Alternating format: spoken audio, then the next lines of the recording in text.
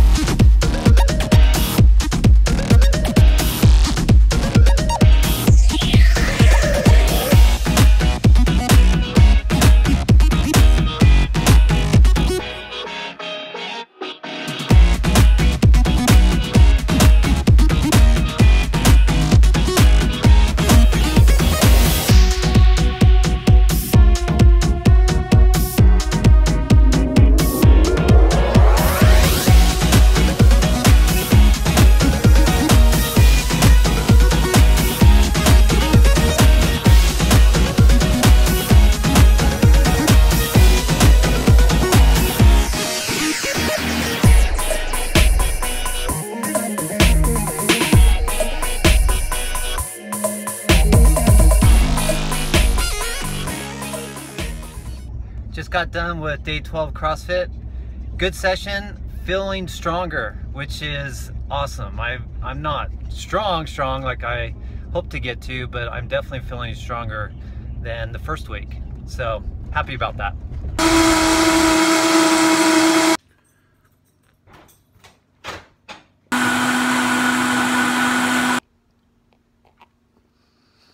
Just got done with CrossFit day 12 and had uh, something to eat. And then now I'm here thinking about doing a little bit of massage. Um, and I bought this foot massager that actually massages not only your feet, but it kind of goes all the way up through your soleus, through your calf muscles, and uh, it's just that whole bottom half of your legs, and it just does a great job.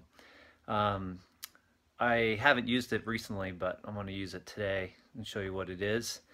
And um, I think it's um, it's really important that you massage when you can and, and use the roller, use lacrosse balls, use golf balls, um, bands, whatever it takes to get to those spots to help work out some of your, your tenderness or um, muscle aches and, and all of that. So here it is.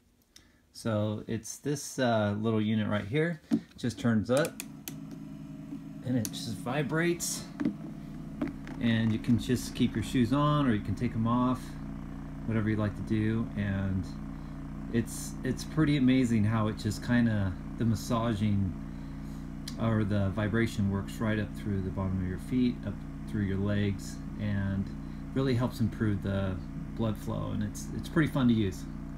If you ever come across one of these try them out. You might, you might love it. Okay it's food trivia time. Pick the best food out of these two